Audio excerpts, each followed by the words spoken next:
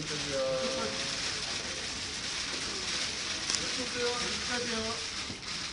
네, 어, 설미 누나 정말 행복하게 그리고 오래오래 어, 예쁜 사랑 나누시면서 행복하게 사시길 진심으로 바라겠습니다. 너무 축하드려요.